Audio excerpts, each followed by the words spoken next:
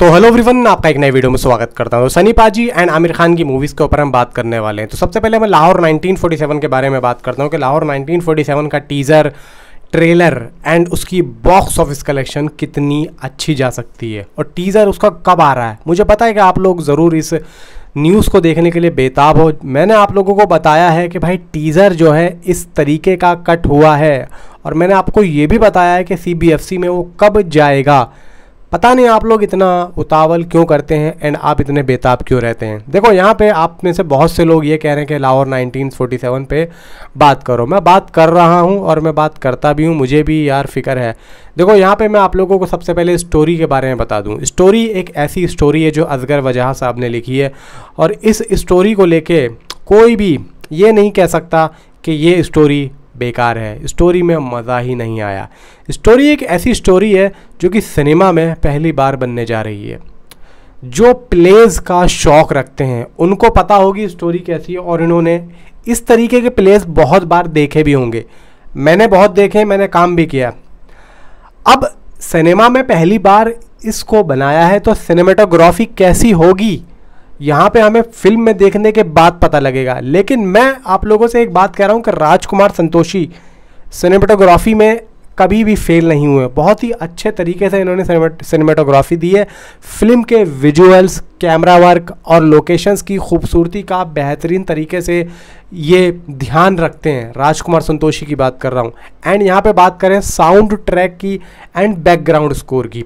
तो देखो, यहाँ पे सारा का सारा जो काम है, वो भाई ए आर रहमान को दिया हुआ है। और ए आर रहमान को पता है कि मुझे कब और कितना म्यूज़िक देना है और किस तरीके से देना है, सीन के हिसाब से कहाँ पे क्या रखना है, कितना ट्यून छोड़ना है और कितना यहाँ पे रोकना है, ये सब ए आर रहमान को मालूम है बहुत ही अच्छे तरीके से।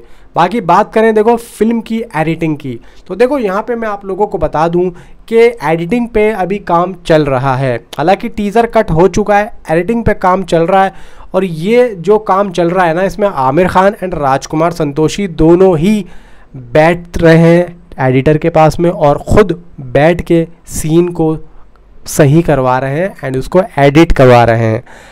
अब यहाँ पे दोस्तों बात आती है मार्केटिंग की एंड प्रमोशन की। देखो यहाँ पे आमिर खान अपनी जो भी मूवीज़ को लेके आते हैं, भले ही वो उसमें हो या ना हो, लेकिन प्रोडक्शन हाउस से जुड़ी हुई हो, जैसे कि लापता लेडीज़ थी। अब लापता लेडीज़ को जब इन्होंने प्रमोशन करा था। तो ये लोग ऐसे ऐसे गाँव में गए थे मतलब जिस गाँव में ये मूवी शूट हुई है, वहाँ तो गए ही गए थे। लेकिन इसके अलावा और भी जगहों पे गए थे।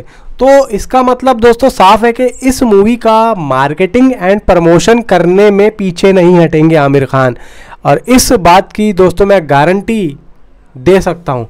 बाकी यह है कि देखो फ़िल्म की जो प्रमोशन स्ट्रेटेजी है फ़िल्म को कैसे प्रमोट किया जाएगा एंड किस प्रकार के ट्रेलर्स पोस्टर एंड इवेंट्स ये लोग रिलीज़ करेंगे, मैं सब आप लोगों को बता चुका हूँ कि टीज़र किस तरीके से आएगा। और देखो, यहाँ पे मैं तो कहता हूँ कि अगर ये लोग सिर्फ़ और सिर्फ़ टीज़र ही रिलीज़ करें और ट्रेलर ना रिलीज़ करें तो सिर्फ़ जितने कम एसेट्स इसके बाहर आएँगे एज ए वीडियो एसेट्स उतना ही ज़्यादा मज़ा हमें मूवी में देखने के आएगा।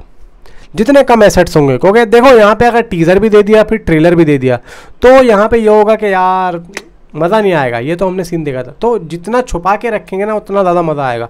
लेकिन मैं आमिर खान को बहुत अच्छे तरीके से जानता हूँ। अगर आमिर खान ट्रेलर देंगे ना तो उसमें वो समझ में नहीं आएगा कि एक्चुअली में जा क्या रहा। हालाँकि स्टोरी हमें पता होगी। स्टोरी सबको पता है, लेकिन डायलॉग्स म्यूज़िक ये सारी चीज़ें मतलब अपना स्क्रीन प्ले ये सब तो हमें मूवी में देखने के बाद ही पता लगेगा। बाकी देखो कंट्रोवर्सी की बात करें तो कंट्रोवर्सी मूवी को लेके, हर मूवी को लेके चलती ही चलती है। हर बड़ी मूवी को लेके, हर बड़े स्टार को लेके कंट्रोवर्सी चलती ही चलती है ओवरसीज़ की परफॉर्मेंस देखो, Gadar two Gadar two overseas में इतनी अच्छी नहीं चली थी, लेकिन फिर भी इंडिया में उसने 40 करोड़ की ओपनिंग की थी। अगर आपको याद नहीं होगा तो मैं आपको याद बता दूँ। 40 करोड़ की गदर टू ने ओपनिंग की थी। अब यहाँ पे देखा जाए कि गदर वन की वजह से गदर टू को ओपनिंग मिली।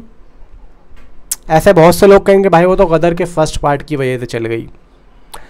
भाई, गदर के फ़र्स्ट पार्ट की वजह से चल गई, ठीक है, लेकिन अब तो यहाँ पे सबने देख लिए ना मूवी सबने देख लिए। मैं कहता हूँ कि कल 20 तारीख है कल है सिनेमा डे आप कल रिलीज़ कर दो गदर टू ज़रा, एक बार। सबने देखी हुई है ना सबके मोबाइलों में, पता लग जाएगा, कल ही पता लग जाएगा। एंड देखो फ़िल्म की जो तुलना होती है ना, इधर की उधर मूवी से, इसकी उससे तो वो ना ही करो तो ज़्यादा बेहतर होगा। मैं कहता हूँ कि हर मूवी अपने तरीके से सही होती है, लेकिन बशर्ते उसमें मेहनत हुई दिखे तो उसमें मेहनत दिखे कि हाँ इसमें मेहनत हुई है, और एक अच्छा कलाकार हो अच्छा डायरेक्टर हो, बस दिखनी चाहिए। ये नहीं कि उल्टा सीधा पेल दिया, अपना टाइगर श्रॉफ की कौन सी मूवी आई थी, कृति सेनन के साथ में? वो जो थी। बाकी देखो ऑडियंस का रेस्पॉन्स मैं कहता हूँ कि सनी पाजी की वजह से इस मूवी को लोग बाग देखने आएँगे आएँगे। तो यहाँ पे तो ऑडियंस का रेस्पॉन्स आप रहने ही दो। आमिर खान का कैम्यू है भाई मूवी के अंदर। तो ऑडियंस का रेस्पॉन्स तो मुझे लग रहा है कि बेहतरीन तरीके से होगा। फिर यहाँ पे वर्ड ऑफ़ माउथ मैं आप लोगों को दोस्तों, आप लोग मेरी एक बात नोट कर लेना। आप मेरी बात नोट कर लेना। वर्ड ऑफ़ माउथ इस मूवी का इस तरीके से जाएगा कि आप लोग परेशान हो जाओगे कि भाई कोई तो बुराई कर दे। कोई तो यहाँ पे बुराई कर दे। इवन यहाँ पे ना, पता क्या होगा? कहानी में कहानी में कोई किसी को कह ही नहीं सकता है कि कहानी बेकार है। यहाँ पे पता है क्या होगा? यहाँ पे जो सनी पाजी के जो बेटे का किरदार निभा रहे हैं ना करण देवाल है, इसकी एक्टिंग को बोला जाएगा कि यार एक्टिंग सही नहीं करी है। फिर यहाँ पे साइड के जो किरदार है उनको बोला जाएगा कि यार यूँ ऐसे आते ऐसे आते, यूँ करते। इन सबको बोला जाएगा देखना, क्योंकि और कोई तोड़ नहीं है मूवी के अंदर। मूवी का डायरेक्टर ज़बरदस्त है प्रोडक्शन हाउस ज़बरदस्त है प्रोडक्शन वैल्यू बहुत ज़बरदस्त होगी। सनी बाजी का जो कैरेक्टर है लुक वुक सब बेहतरीन तरीके से, पहनावा बनावा, कुर्ता, शलवार बेहतरीन तरीके से है। एंड यहाँ पे साइड की मांग होगी, दाढ़ी होगी सनी बाजी की, बीच में यहाँ पे निशान होगा, नमाज़ का। तो यहाँ पे फुल नमाजी होंगे एंड उनका जो सिकंदर हया, Sikandar I think so Sikandar Hayat नाम होगा, जो एक्चुअली में कहानी के अंदर है। अब मूवी के अंदर इन्होंने वही नाम रखा है, या कुछ और रखा है, वो तो खैर मैं कह नहीं सकता। बाकी यह कि देखो फ़िल्म की कहानी बेहतरीन है, और निर्देशक भाई राजकुमार संतोषी हैं। एक्टिंग में मुख्य कलाकार आप लोगों को पता है कि सनी पाजी हैं एंड आमिर खान साहब हैं, शबाना आज़मी हैं, प्रीति जिंता हैं, करण देवल हैं एंड अपना और भी दो चार कलाकार हैं इनका नाम मुझे ध्यान नहीं आ रहा अभी इस टाइम पे। बाकी देखो मूवी डे वन में इंडिया से कितना कर सकती है? मैं आप लोगों को दोस्तों बता दूँ कि गदर टू के आसपास ये मूवी टिकेगी टिकेगी। 40 से 45 करोड़ इंडिया से ये हिंदी मार्केट में जाएगी जाएगी। क्योंकि देखो, मुझे ऐसा लग रहा है कि आमिर खान प्रोडक्शन इसको पैन इंडिया लेवल पे शायद रिलीज़ ना करे। मैं शायद बोल रहा हूँ इसलिए, क्योंकि मुझे भी नहीं पता है कि ये पैन इंडिया लेवल पर रिलीज़ करेंगे इस मूवी को, क्योंकि आमिर खान बहुत कम अपने प्रोडक्शन हाउस में पैन इंडिया लेवल पर रिलीज़ करते हैं। हिंदी मार्केट में ही रिलीज़ करते हैं, लेकिन हिंदी मार्केट में वो उस तरीके से फैला देते हैं अपनी मूवी को कि भाई कोई उसको छोड़ता नहीं है। बाकी ओवरसीज़ में रिलीज़ होगी मूवी लेकिन मुझे ऐसा लगता है कि ये हिंदी मार्केट से ही अच्छा खासा रेस्पॉन्स दिखा देगी। डेढ़ सौ करोड़ के आसपास, डेढ़ सौ करोड़ के आसपास इसका जो है बजट आ रहा है, सौ से डेढ़ सौ करोड़ के आसपास आ रहा है। फाइनल बजट नंबर अभी आया नहीं है, लेकिन मैं आप लोगों को बता रहा हूँ, जो मुझे यहाँ पे पता चला है डेढ़ सौ करोड़ के आसपास है इसका बजट बाकी मूवी अपने दो दिन में, यानी कि फ़र्स्ट वीकेंड में आराम से इसका बजट निकाल लेगी, आराम से निकाल लेगी। फ़र्स्ट वीकेंड में ही निकाल लेगी। वो छब्बीस जनवरी लग रही है, आराम से निकाल लेगी। मतलब मूवी है कि पाँच सौ, साढ़े पाँच सौ छः सौ करोड़। मेरे हिसाब से जो मेरी अपनी खुद की एक अपनी पर्सनल थिंकिंग है, वो तो देखो हज़ार करोड़ की है। मैं तो चाहता हूँ कि मूवी हज़ार करोड़ कर दे। लेकिन फिर भी अगर रुकती है मूवी तो कम से कम कम से कम दोस्तों छः सौ, साढ़े छः सौ करोड़ तो कम से कम करे ही करे। तभी पता लगेगा यहाँ पे कि भाई सनी पाजी का क्या क्रेज़ है। और मैं ये समझता हूँ दोस्तों, सनी पाजी के जो फैंस हैं, बहुत तोड़ू हैं, और वो यहाँ पे एक बार नहीं, फ़िल्म को चालीस बार भी देखेंगे जा जाके क्योंकि उनको यहाँ पे भाई फ़ैन वॉर यहाँ पे बहुत तकड़े चल रहे हैं और सनी पाजी की दोस्तों, ये जो मूवी आ रही है ना, गदर टू के बाद में पहली मूवी है। और लगभग डेढ़ पौने दो साल के बाद में वो दोबारा से दिखने वाले हैं बड़े पर्दे पे।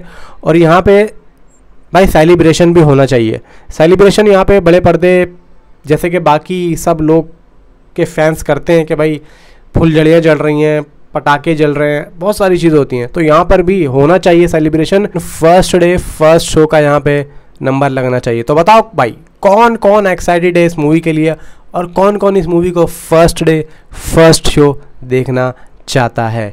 और डे वन में मैंने तो अपना बता दिया है भाई, देखो डे वन में इंडिया से ये मूवी 50 करोड़ के आसपास 40 से 50 के बीच में जाएगी जाएगी। गदर टू से ऊपर जाएगी, हिंदी मार्केट की बात कर रहा हूँ, हिंदी मार्केट में।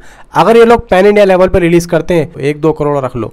ज़्यादा वहाँ से आएगा नहीं। ओवरसीज़ में ये मूवी कितना कर सकती है, वो तो खैर एडवांस बुकिंग के बाद ही पता लगेगा कि ओवरसीज़ में क्या क्रेज़ है। लेकिन हिंदी मार्केट से इतना कर देगी कि ये मूवी का डंका वैसे ही बच जाएगा। अब ये सोचो कि सनी पाजी को अगर बड़े लेवल पे बनाया जाए, जैसे कि अभी जट आ रही है।